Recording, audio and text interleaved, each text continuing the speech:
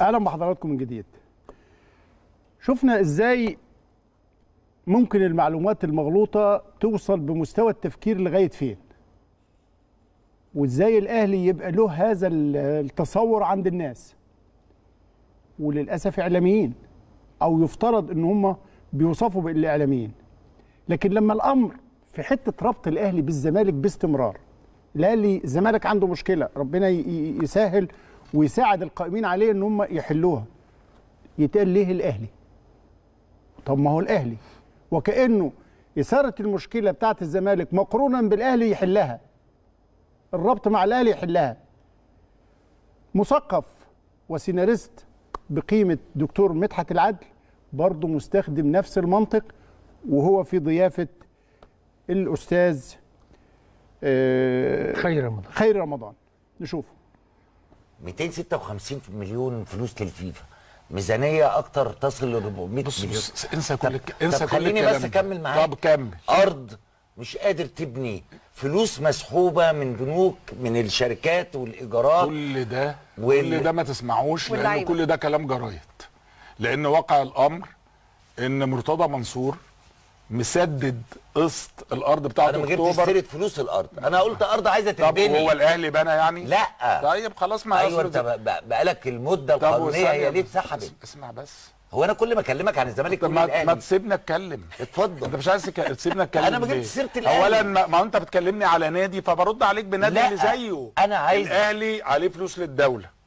والزمالك عليه فلوس للدولة وجميع الانديه أنا ما أعرفش إن. الأهلي عليه فلوس للدولة طب إذا ما كانش ما- إذا ما آه. كانش الأهلي عليه فلوس للدولة آه. مش هاجي تاني البرنامج ده طب تبقى كل الدولة- أندية مصر مديونة للدولة للتأمينات والضرائب كله وخلافه كله كله كله آه حضرتك آه، نادي الزمالك بكل هذا الحب وأنت عارف أدق التفاصيل اللي موجودة في كل ملفاته إذا أصبح الدكتور إذا. أصبح الدكتور.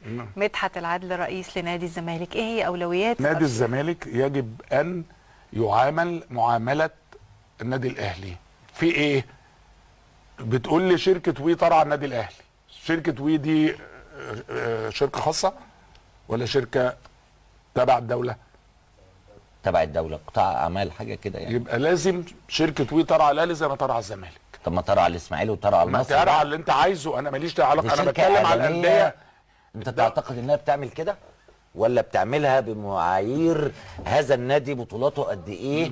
لا لا لا لا لا, لا انسى انسى اللي انت بتقوله ده لأن اللي انت اللي حضرتك بتقوله ده ما ده بتحصل ده كلام الإعلام. لا انت عمرك شفت البي بي سي بتاع نادي أرسنال؟ طيب هنا نقدر نتكلم بجد شوية وبكل الاحترام والتقدير لكل أصحاب الرؤى المختلفة. هو حتى الأستاذ خير رمضان قال له هو أنا كل ما أسألك على الزمالك تقول لي الأهلي؟ قال له آه تسألني عن النادي هسألك أرد عليك بنادي. وهي هنا المشكلة لدرجة إنه الدكتور مدحت العدل يقول له الزمالك ما بناش الأرض قال له الأهلي ما بناش. الأهلي ما بناش. الأهلي ما بناش أنهي أرض بالظبط؟ الأهلي والزمالك أخدوا في يوم واحد أرض 6 أكتوبر ولما اتسحبت من الاثنين لأسباب مختلفة خاصة بوزارة الإسكان وقتها تم تخصيص أراضي بديلة. الزمالك ما بناش حاجة تخصه حتى وإن كان دفع الفلوس بس اتأخر في ال ال ال الإنشاء حسب اشتراطات وزارة الإسكان. دي حاجة تخص الزمالك. بس يا دكتور مدحت والأهلي ما بناش إيه بالظبط؟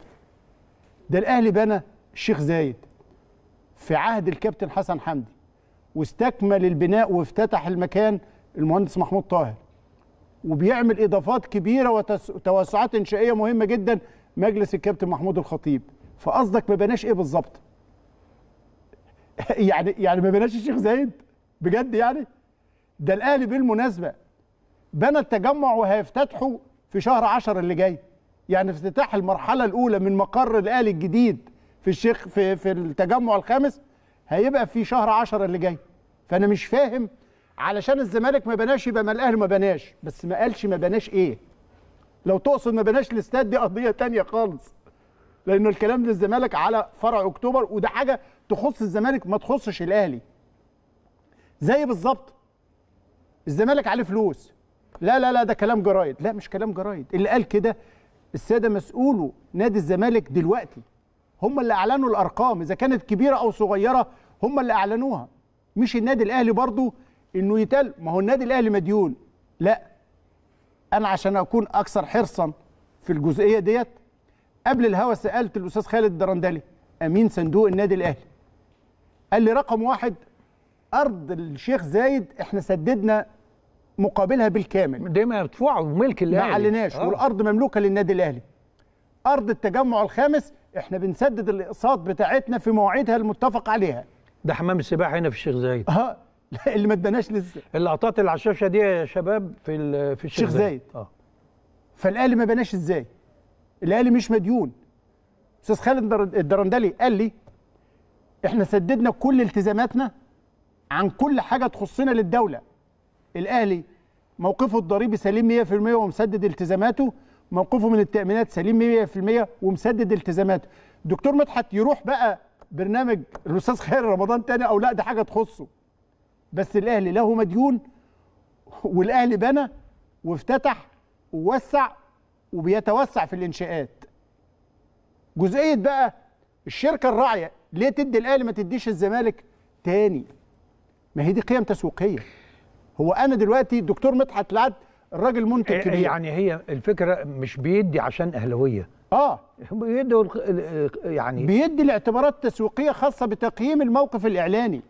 لا كادوه ولا منحة ولا هبة ولا دي آه، إزازة زيت في بطاقة التموين. الزمالك ياخد أكتر من الإسماعيلي الأهلي ياخد أكتر من الزمالك الإسماعيلي ياخد أكتر من الاتحاد. مؤكد كل شركة راعية عندها قيمها وعندها تقييمها. مش فكرة إن الأهلي بياخد يبقى التاني مظلوم لأنه مؤكد إن الدكتور مدحت العدل في شركة الإنتاج اللي خاصة بيهم لما بيدي أجور الفنانين في أي عمل سينمائي من المؤكد إن الأجور متراوحة ومختلفة. كل حسب قيمته في تقديره هو كمنتج وأهميته في الشباك بالنسبة له هو مش بالنسبة لحد تاني. أرقام السوق بتقول له إيه بيدي؟ لأنه منتج. فالشركة الراعية بتدي هذا النادي أو ذاك قيمة معينة وفقا لاستحقاقه في القيم التسويقية. إنما تسالني على الزمالك هرد عليك بالأهلي؟ دي مسألة غريبة ومش هتحل مشاكل لا للزمالك ولا حتى مفيدة للجمهور في الشارع. باستمرار الزمالك عمل كذا يبقى الأهلي عمل كذا. لا الزمالك في بعض المواطن والمواقف يستحق الإشادة ولا يستحقها الأهلي. الأهلي يستحق اللوم ولا يستحق الزمالك والعكس. ليه باستمرار؟ لدرجة إنه الزمالك ما بناش. طب ما الأهلي ما بناش. وتعدي كده. ما بناش إيه؟ ما أعرفش. نتمنى فصل الأمور عن بعضها علشان على الأقل المشاكل تتحل.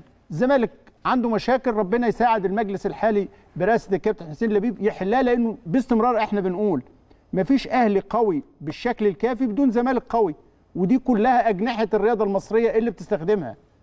نتمنى إنه الأمر بالذات عند ناس عندها قدر من الوعي والثقافة وكان كان يكون واضح كان, شوية. كان الحلقة اللي فاتت استعرضنا حجم الإنفاق هنا وهنا آه. على الفرق الرياضية.